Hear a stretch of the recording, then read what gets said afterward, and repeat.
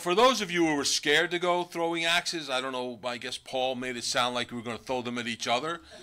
Um, that's not the case. Uh, we had a wonderful time. You guys missed out on an amazing time, and uh, there are some pictures of us actually throwing axes here.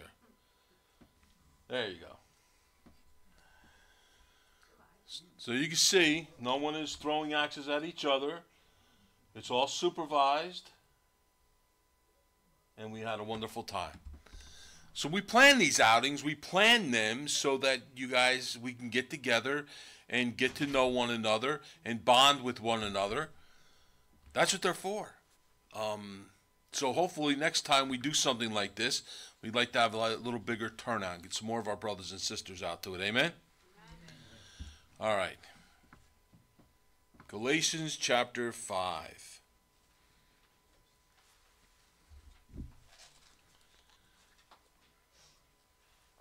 I'm going to start in verse 1. I find that's always the best place to start when you're starting a chapter.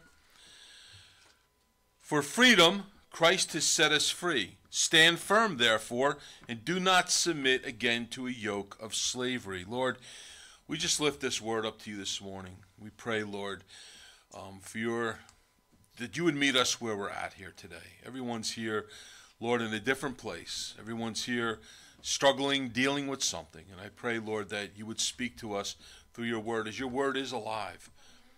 Lord, we pray for for Sonia, Lord. We pray as she's uh, in the last stages of her life, suffering from cancer. I pray, Lord, that you would just get a hold of her heart, and Lord, that she would get to gaze upon your face. Lift up Joe, um, Joanne's uh, ex-husband, Lord. I just we just found out had a stroke and is in the hospital. We pray for him, Lord. We pray for for your intervention there. We pray, Lord, that you would uh, intervene and, and, give the family peace and comfort. We pray, Lord, for Lewis. We thank you, Lord, that uh, you brought him through his procedure and that he's here with us this morning. And Lord, we just pray for everyone in the body who's who's dealing with something, going through something, Lord, you are sovereign and you are in control. And Lord, we, we just lay this at your feet and ask it in your name. Amen.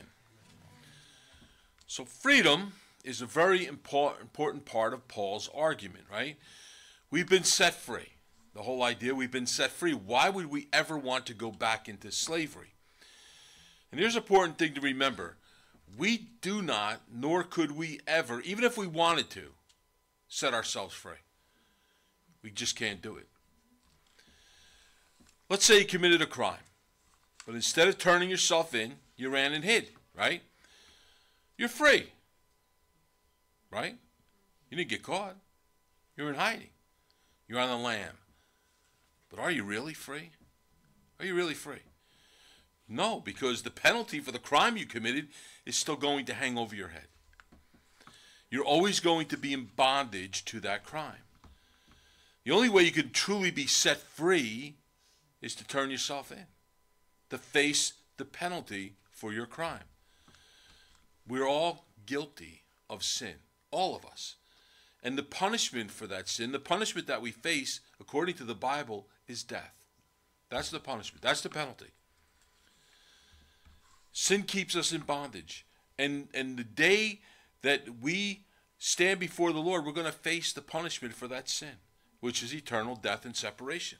So the only way that we could be set free from that death sentence is by placing our faith and our hope and our trust in Jesus Christ, who took our sin upon himself. He traded places with us.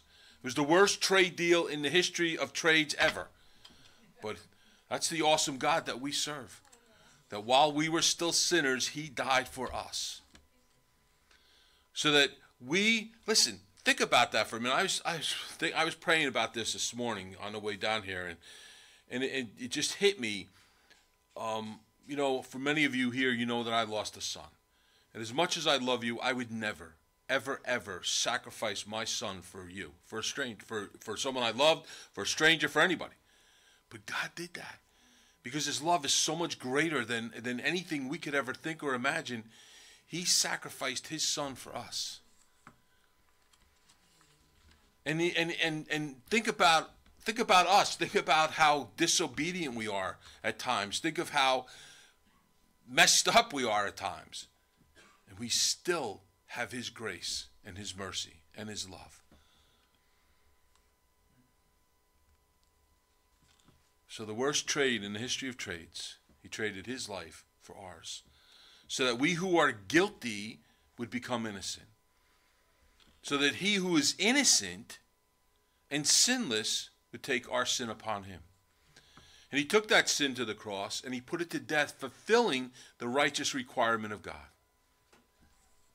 So that we who were sinners, are sinners, could be forgiven and washed clean by his blood and given what we don't deserve eternal life in heaven. The moment we were set free, the bonds, the chains of the law, sin, and death that held us captive just fell from our wrists and ankles. So Paul tells us to stand firm in that freedom, not to waver from it. We're told to hold on to our precious freedom because that freedom cost us nothing, but it cost Christ everything. Jesus died for us. That's something that we nor the law could ever do. He died to set us free so we could never set ourselves free. His sacrifice on the cross freed us from the power and penalty of our sin. His sacrifice took the sting out of death. And his sacrifice freed us from the bondage of law by fulfilling the law in us. That's the freedom we have for those who've placed our faith in Jesus Christ. But what would happen if we just decided that his sacrifice and his grace just aren't sufficient for us? It's not sufficient for our salvation. We need to do something. We got to go do something to either save ourselves or to maintain our salvation. What would happen if we decided to trade, and this would be even a worse trade than the first one? Trade grace for works. And that's what Paul ha- describes next. What happens when we trade grace for works? Look, I, Paul, say to you that if you accept circumcision, which, by the way, is a symbol, a sign of the law, Christ will be of no advantage to you. I testify again to every man who accepts circumcision that he is obligated to keep the whole law. You are severed from Christ. You who would be justified by the law, you have fallen away from grace.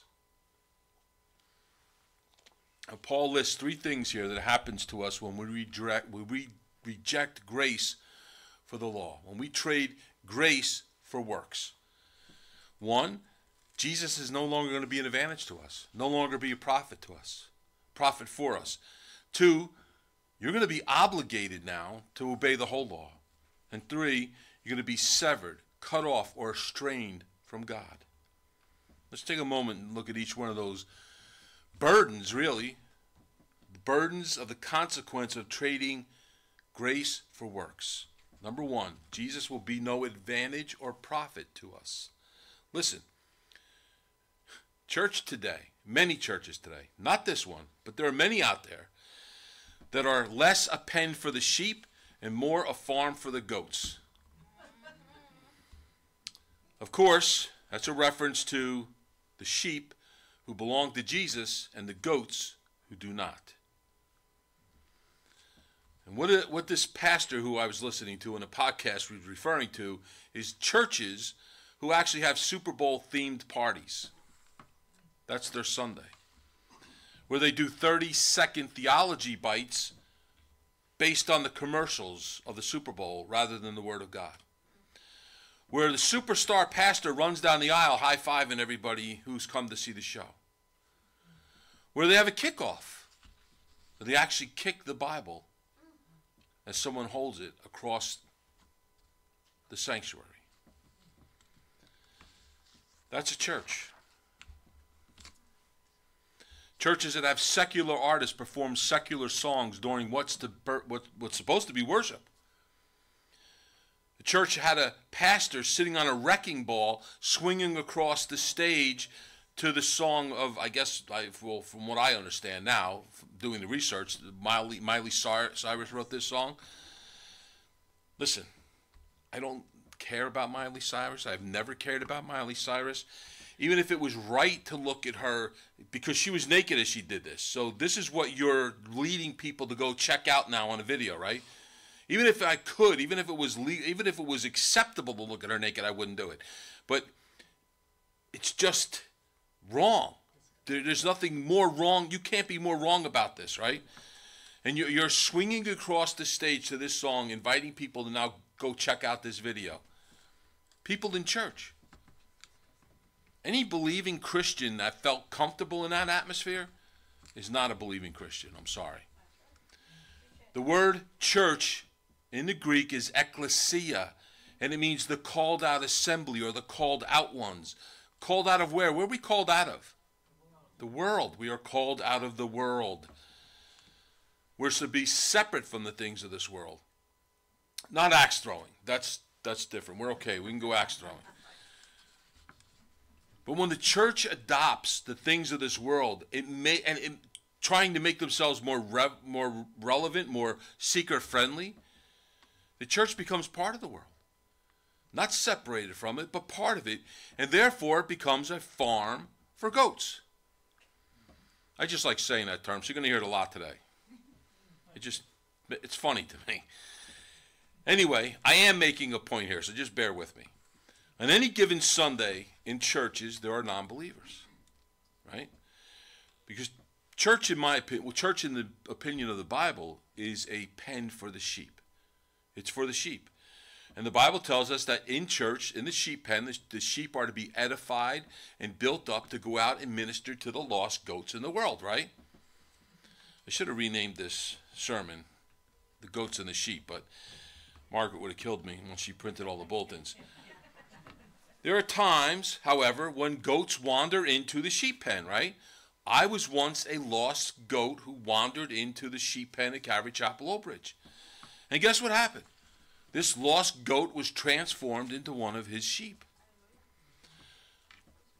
So the church must not only be a place for the saved, it also has to be a place where the lost feel loved and welcomed, but not so comfortable that they stay lost. Goats should always be welcomed here, but not feel comfortable to remain a goat. So imagine this imagine you're a goat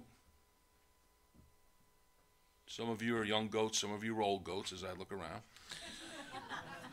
and you imagine walking into this church. Yes, Lewis, it's you. And they're singing worship songs about drinking and having friends in low places. And then there's the pastor swinging across the stage on a wrecking ball to a Miley Cyrus song. That's your first impression of Christianity and Jesus Christ. And you're going to walk away from that experience thinking that a lost goat can remain a lost goat and just hang out on the goat farm, never becoming a sheep. There are consequences to becoming comfortable on the goat farm. And Paul is saying here that there's also consequences to going back to a works based faith. It takes a lot of work to plan a show like that every week that's good enough to keep people coming back to see what's that crazy pastor going to do this week, right? It's a lot of work building a church like that. What does the Bible say? Those who labor themselves to build a church, they build it, they labor in vain. Because only the Holy Spirit can build a church. What should draw people into a church is the prompting of the Holy Spirit who's moving his sheep, by the way, into churches where they could be fed the Word of God. But it's also a lot of work to either try to save yourself or to maintain your salvation through your works. So, what are the consequences? First, you know that the law and your works will not save you any more than hanging out on a goat farm is going to save a lost goat. Look how I made that connection there? I know it's a stretch, but just bear with me. Second, if you're a believer and you return to the bondage of the law, you're never going to grow. You're going to remain stagnant and just consumed by your works. Just like if you're a believer in a goat farm, I, I told you I love that term. You're never going to grow. You're going to remain stagnant in your faith. Third, anyone who rejects grace and believes works can save them or help them maintain their salvation has made Jesus of no advantage to you.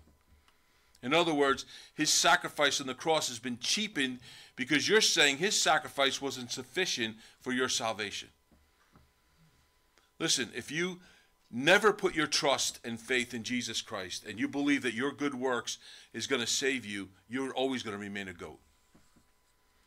And as long as you're a goat, you will remain separated from the sheep who belong to the Lord. If you placed your faith in the Lord Jesus Christ as your Savior and you believe in a works based salvation, that's the saddest condition of all. Because you will never have the true assurance of your salvation. You'll never know if you've done a good enough good works in your life for the gates of heaven to just swing open and, and let you in. You're never going to experience the peace that comes from resting in Jesus' finished work on the cross, where He did it all for us. He left nothing for us to do, by the way, other than to place our trust in Him. Second, Paul says you're going to be obligated to keep the whole law. If you want a works based faith, if that's what you want, if you want to obey the law, then you have to obey the whole law. All of it, all 613 of them. And that's where the Hebrew roots people confuse me. Because they'll tell you that you need to follow the law. You must follow the law to be saved, right? But when you ask about the sacrificial laws, no, nah, no, nah, we don't have to follow those. Jesus took care of that on the cross. Well, did he take care of just the sacrificial laws or all of them? I'm under the impression he fulfilled the whole law. A law, by the way, that Peter admits at the Jerusalem council was a burden even for them to follow. Listen to his words. He said, Why are you putting God to the test by placing a yoke on the neck of the disciples that neither our fathers nor we have been able to bear? But we believe that we'll be saved through the grace of the Lord Jesus just as they will. So to say that you don't have to follow the sacrificial law is to go against what James writes. Whoever keeps the whole law but fails in one point is guilty of it all. You're going to follow the law, that's what you want, then you're obligated to follow all the law, the whole law. Because God's standard is perfection. And if you fail in one part of the law, you failed in all of it. Do you see how impossible this is? If you want to follow law, if you want a works based faith, if that's what you want to do, if you can do enough works, then you have to be perfect in your works and perfect in your motives and perfect in your thoughts and perfect in everything you do in order for that to even be a consideration when you're standing before Jesus. It's impossible. So if you want a works based faith, if you want to follow the law, then this is what you need to do. You need to install a kitchen in your in the outside of your house, an outdoor kitchen, with a grill big enough to roast cattle and roast goats on, right? You got to roast bulls and goats. That's what you need to do. And you better hope that your neighbor isn't a member of PETA. I am a member, an offshoot of PETA, which is People for the Eating of Tasty Animals, which would be on your grill if you were sacrificing a bull. But what about what Jesus said? In Matthew 5, he said it's not about outwardly keeping the law, it's about keeping the law inwardly. Jesus said if you're angry enough to call your brother a fool, then you've committed murder. And if you look at someone with lust, you are guilty of adultery. The point is, how can we keep the law perfectly and, and expect it to protect us outwardly if we're breaking it inwardly? You can't. It's impossible. In order to do that, in order to, to obey the law perfectly, inwardly and outwardly, you'd have to rely on your flesh. How's that work out for you? Has your flesh let you down recently? We can't follow the law perfectly, which means eventually you're going to break one of them that you've already committed to obeying. And if you broke one, you broke them all. So you've already failed. So your life is going to be a constant sequence of failure. Third, you'll be severed, cut off, or strained from Jesus. So this has two meanings. If, if, you if you have not placed your trust in Jesus Christ and you believe the law can save you, remember, God's standard is perfection, right? So you need to perfectly follow the law. But by God's grace, He sent His Son to perfectly fulfill the law for us. And if you decide to go the route of the law, Paul says we've separated ourselves from the grace of God. And if you're saved and you're rejecting grace for works, and you're rejecting the grace of God where Jesus fulfilled the law, you're saying, Don't worry, God, I've got this. I could take care of this. I could do this on my own. By saying that, you're saying that his sacrifice on the cross is of no profit to you whatsoever. And that means you're okay to returning to the to return to the bondage of the law. And as a result from that, of that, Paul says one of the scariest things of all, you've fallen for grace. And it doesn't mean you've lost your salvation. That's not what Paul's saying. It means that you're choosing to rely on your works rather than the grace of God. Yours and my good works, our righteousness, is, as the Bible tells us, filthy rags. That's what they are filthy rags. They amount to absolutely nothing. And Paul tells us what happens to our works when we stand before Jesus at the bema seat of God. Now, if anyone builds on a foundation with gold, silver, precious stones, wood, hay, straw, each one's work will become manifest. For the day will disclose it, because it will be revealed by fire, and the fire will test what sort of work each one has done.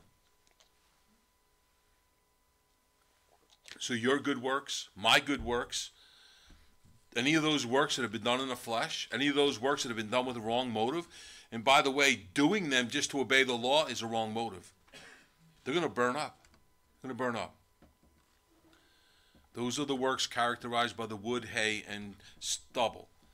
When that, once they hit the refiner's fire, they're going to burn up. But the works done through the Spirit, those works done as a result of being saved by grace, will be the precious stones that will survive the refiner's fire. Not to say that those who produce works of good wood, hay, and stubble are not going into heaven. They are. They're just going to go into heaven with the smell of smoke on them. You know, I often wonder how many of my works are going to burn up and how many are going to survive as precious stones.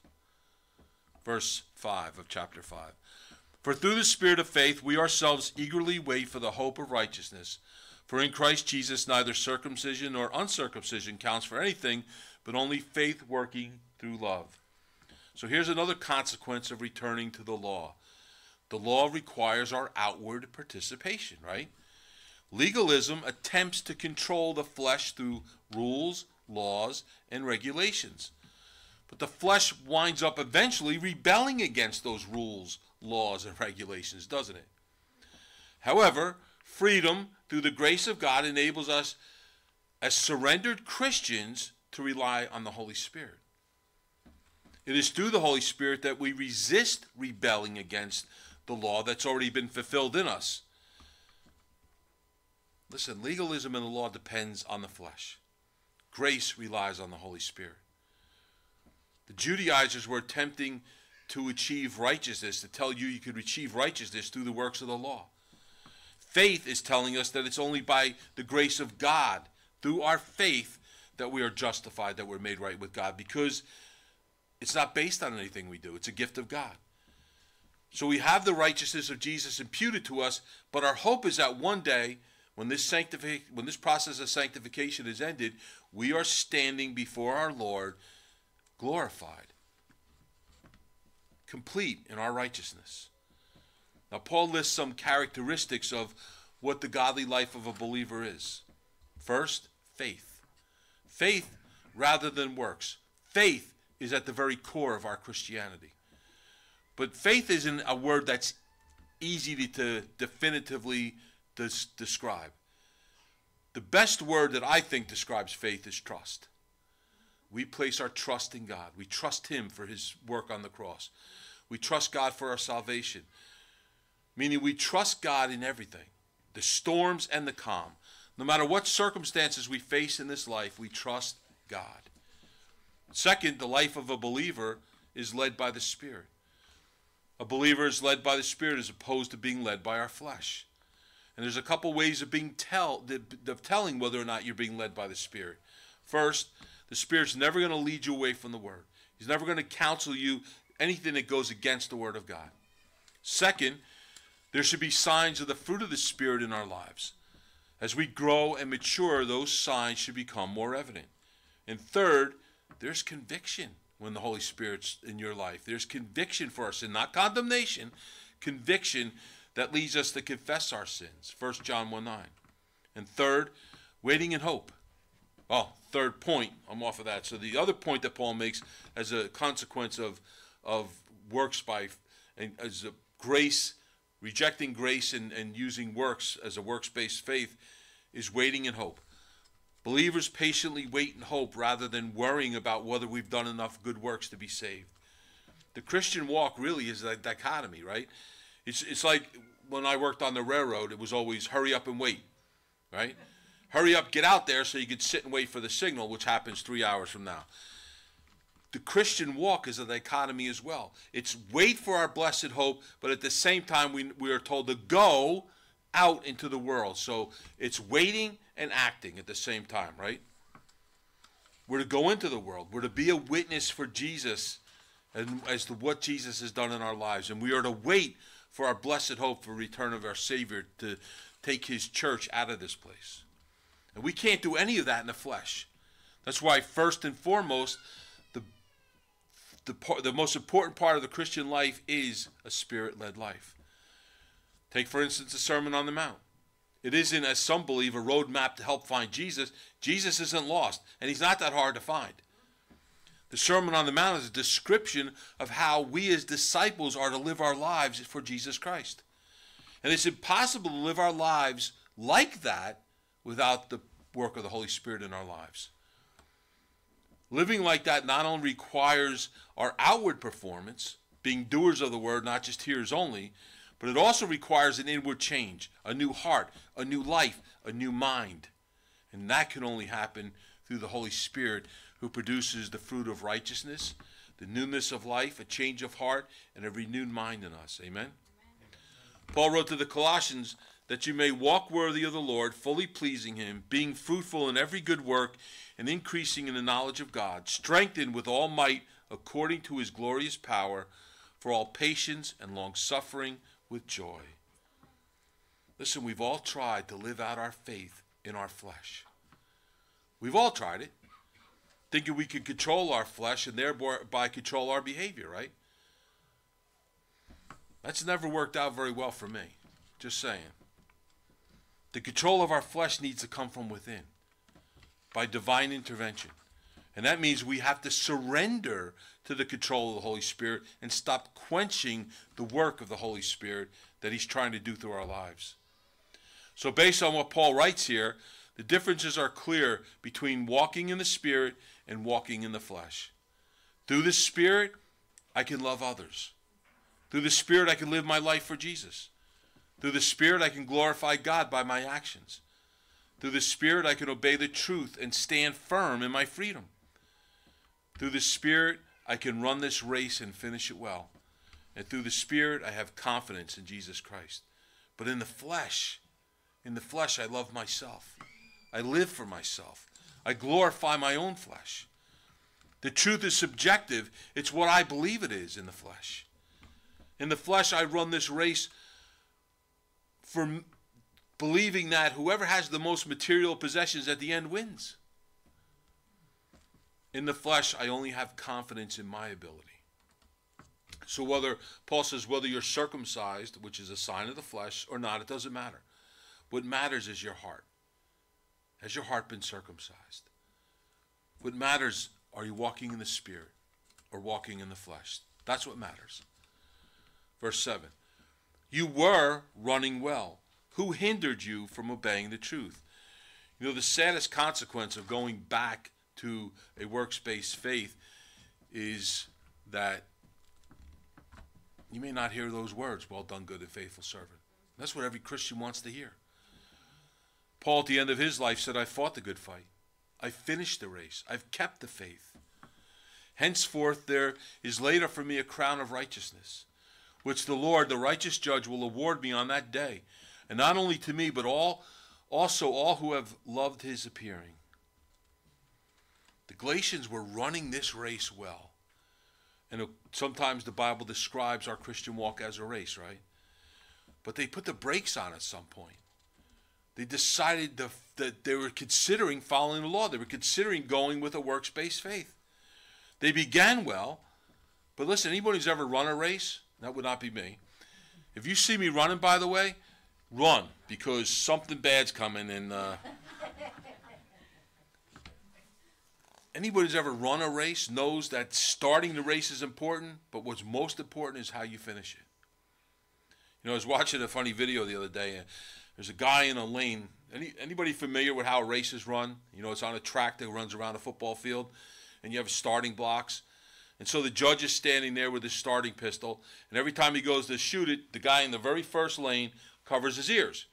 So the judge stops, tells the guy to uncover his ears, get back in the blocks, and this goes on for a couple times. And finally, he takes this guy, the, uh, the lane closest to him, and moves him all the way to the furthest lane, right? Well, in the meantime, the guy who's painting the rest of the lines for the lanes painted the first lane straight, but all the rest of the lanes he started getting off track. He veered off and went right off the track into the grass of the football field. So when the judge finally blew the starting shot the starting pistol, the guys in the nearest lanes ran off into the field, but the guy he moved to the furthest lane ran straight and run the race because he was in the right rate, in the right lane, right? That's what happened to the Galatians. They started out with the truth. They began running the race in their lane. And then somewhere along the line, they veered off. We're supposed to walk this walk without veering to the right or to the left. At some point, they veered off the track and wound up in the grass. They began this race in truth, but veered from the truth. And by truth, I believe Paul is referring to the truth of the gospel and the truth by which we live our lives as believers. They'd gone against the truth. They'd gone against the way we are to live our life as believers. They went against the truth of the gospel, which prevented unsaved people from coming to Christ. And when you go against the truth of the way we live our life as Christians, you prevent other or you prevent yourself from living a life in the fullness of Jesus Christ. And in the days in which we live, it's so important to know what we believe and who we believe in. But it's just as important to live our lives according to that truth. Because there's a great falling away that's coming. No, I, listen, it's not coming, it's already here. It's just going to get worse as time goes on. Paul writes to Timothy, Now the Spirit expressly says that in latter times, some will depart by the faith by devoting themselves to deceitful spirits and teachings of demons, though the insincerity of the liars whose conscience are seared, through the insincerity of the, the liars whose consciousness is seared. We're already seeing that departure, which means we're what? If Paul says this is going to happen in the latter days and we're already seeing it now, what does that mean? We're in the latter days. We're in the latter days. Do you think those churches I mentioned at the beginning of this message would fit this description? The more the church falls away from the truth, the more the conscience of those who are attending that church is going to be seared. And they're going to be to the point where they won't be able to return to the truth because their conscience has been so seared by the lies. Paul also writes, he says, they will always be learning and never able to arrive at the knowledge of the truth. How scary is that? verses 8 through 10. The persuasion is not from him who calls you. A little leaven leavens the whole lump. I have confidence in the Lord that you will take no other view, and the one who is troubling you will be will bear the penalty, whoever he is. Who led you whoever Paul's saying, whoever led you away from the truth, whoever led you down this path, whoever caused you to veer off the, the, the lane that you were in, wasn't sent by God. Because legalism is never from God. Notice Paul's giving us a way here to spot false teachers. One, they hinder the truth from going forth. False teachers teach another gospel, they preach a different Jesus. But the only way to discern that, the only way to determine who's a false teacher and who's not, is to know your word.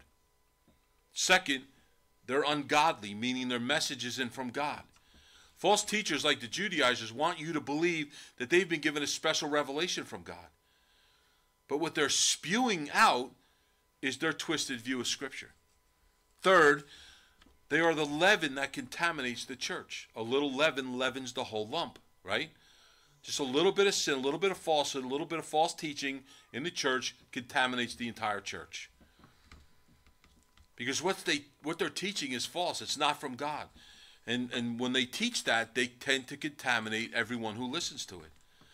But Paul has confidence. He has confidence in the believers in Galatia that they're not going to fall for these false teachings. And he also prays that those who are trying to get them to turn to legalism will face the consequences of what they're doing. Look at verse 11. And the consequence isn't very pretty. But if I, brothers, still preach circumcision, why am I still being persecuted? In that case, the offense of the cross has been removed. I wish those who unsettle you would emasculate themselves.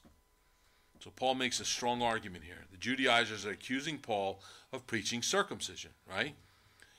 And so he says, if I was doing that, why are they still persecuting me? And and this false claim they're making against Paul may very well be because of he he had Timothy get circumcised. Do you remember that story in Acts chapter 16? Now he, he asked Timothy to be circumcised, not to save Timothy. Timothy was already saved. But he asked him to do it so that he wouldn't be a stumbling block to the Jews that they were going to witness to. Listen, we have freedom in Christ, right? We have freedom to do a lot of things. We have freedom to do whatever you want. But you don't always have the right to do it. We have guidelines. And, and one of those guidelines is will it stumble a brother or sister? Paul would write to the Romans, therefore let us not pass judgment on one another any longer, but rather decide never to put a stumbling block or hindrance in the way of a brother. He wrote to the Corinthians, All things are lawful for me, but not all things are helpful. All things are lawful for me, but not all things edify. So we have freedom, but we don't have freedom to stumble a brother or sister. Take drinking, for instance. I have the freedom to drink a glass of wine. I have that freedom. But I don't have that freedom if I'm in a group of people and I don't know who that might stumble. You see the difference? So the next time you're going to do anything that might stumble a brother or sister, especially especially in the way that we live our life for Jesus Christ, think about who may be stumbled by your actions because there's always somebody watching. And I don't want you to miss the last part of that passage of scripture. He says, I wish those who unsettle you would emasculate themselves. So Paul's showing a little righteous anger here, which makes always made me believe that Paul was from Jersey. He got to Rome by way of Jersey. He wishes those who are leading the Galatians astray that they would not only be circumcised, but they would have their manhood removed. Hmm. Don't ever let Paul offer you circumcision. Look at verse 13. For you were called to freedom, brothers. Only do not use your freedom as an opportunity for the flesh, but through love serve one another. For the whole law is fulfilled in one word you shall love the Lord your love the neighbor love your neighbor as yourself. But if you bite and devour one another, watch out that you are not consumed by one another. Again, we have freedom in Jesus. But instead of using our op- freedom as an opportunity for the flesh, we're to use it as an opportunity to serve and love others. And that's the most notable attribute of a believer is our love for one another. That's how the Bible tells us that we know we are believers, right? They'll know you by your love for one another. But we do tend to beat each other up, don't we? We do like to devour one another. You know, I listen to some podcast, Christians, pastors, some of them, that are so critical. I pray they never listen to any of the messages of this church. Because let's be honest, you can sit here, you can sit in any church and pick it apart you could pull apart everything that goes on during service. You could pull apart everything a pastor says. Is that loving? You know, one of the guys at the Bible study reminded me yesterday of something Jesus said. If they're not against us, they're for us. Every pastor, every church that does things a little differently than the way we do isn't always against Jesus and his word. No doubt some are, many are, and they seem to be growing today. Some are against us, like the church I mentioned earlier, right? And some pastors outwardly teach another gospel, like the woke social gospel. Some preach another Jesus, like the ones that preach that Jesus is the spirit brother of, of Lucifer. Some teach there's no re- need for repentance, that you could be saved and go on living your life in sin. That's actually taught today. So, no, they're not with us or for us, they are against us. And yes, I'm going to say this again. They make it comfortable for a goat to stay a goat. Those teachers are clearly against us. So we need to pray for discernment as to who's against us and who's for us, right? Listen, if they point you to Jesus, and I mean the Jesus of the Bible, not a Jesus that they invented, but they point you to the Jesus of the Bible, and that they tell you that salvation is in Him and Him only, then they're for us. If they preach forgiveness for sins by admitting that we are sinners and we need repentance, they are for us. Now, I know we talk a lot about false teachers here. That is not to say that we're perfect, because we're not. And it isn't a plan to build this church up by tearing down other pastors and churches. That's not the incentive, because that would not be loving. But it would also not be loving to not talk about deception, which is something Jesus warned us about would be prevalent in the last days. And people are being deceived more and more and more by false teaching. So I want you to be prepared for the deception that's already here and grows stronger week by week. And I also want us to be loving, to pray, because that is an act of love, also, isn't it? To pray for those who are false teachers to pray that the scales would fall from their eyes, to pray that they would turn from what they're doing, and to pray for those who are sitting there listening to this and being deceived by it. I always want to do the most loving thing that I can do toward any lost goat that wanders into the sheep pen. And that's to share the gospel message with them. So that as I was a lost goat wandering into a sheep pen, I'm just going to beat this to death and that Pastor Lloyd did for me so many years ago. He shared the gospel. He opened his Bible and read the Word of God. And that's what transformed me from a lost goat to a sheep. So if you're here today and you're not one of his, forget the reference I made to a goat.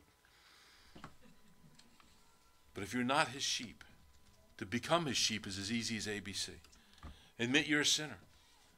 That's where it all starts. You have to admit that we're sinners. Because unless you admit you're a sinner, what do you need to be saved from? The Bible says, I didn't say this, the Bible says, as it is written, there's none righteous, no, not one. We've all sinned and fallen short of the glory of God. So we have a sin problem. But God took care of that. He sent his only begotten Son to die for our sin so that we could be forgiven, that we could be washed clean. But that also requires repentance on our part. You know, I was reading a, uh, a salvation message in a book that one of these pastors wrote, um, who's not with us, by the way, not for us. And um, as you read through it, it, it looks great. The whole thing looks great. And he gets to the point where he says, and we are saved by the finished work of Jesus Christ on the cross. Now, he mentions sin in there. And if you were to read this, if this was on their, their website, you'd think there's nothing wrong with it. The most glaring mistake in that statement, in that, in that verse, in that passage of what he said was there's no repentance needed. That's the most glaring thing there. There's no repentance needed. And there's so many churches that teach that today. If there's no repentance needed after you're saved, then why did God, why did the Holy Spirit put 1 John 1 9 in the Bible? If we confess our sins, isn't that we're, we're, we're confessing it and we're faithful and just? He's faithful and just to forgive us our sins and, and cleanse us from all unrighteousness. Aren't we going to God confessing our sin and repenting of it? Uh, how many times does the Bible tell us we need to repent? That was Jesus' whole message. Repent, for the kingdom of heaven is near. So, how can we now teach there's no repentance after you're saved? So, you need to repent from that sin. Turn to Jesus, and then you will be forgiven of your sin and washed clean by his blood. And that requires us to be, believe, believe that Jesus died for our sin, that he's coming back in glory to judge the living and the dead. You know, we forget that part. We forget that part. We forget that all of us one day, believers and non believers, are going to stand before Jesus. Believers at the Bema seat, non believers at the great white throne judgment. We're all going to give an account. Our accounts could be a little different than the guy standing at the great white throne judgment. I think that's a little quicker than ours. You know, the Bible says there's no tears in heaven, right? But that verse comes after the new heaven and the new earth. I think there's going to be a lot of tears at that Bema Seat judgment. When God shows us just how mightily He could have used us if we were just a little bit more obedient. C. Confess that you're a sinner. Confess that you can't do this on your, on your own. Call upon the name of the Lord and Paul tells us in Romans chapter 10, verse 9 if you confess with your mouth the Lord Jesus and believe in your heart that God has raised him from the dead, you will be saved.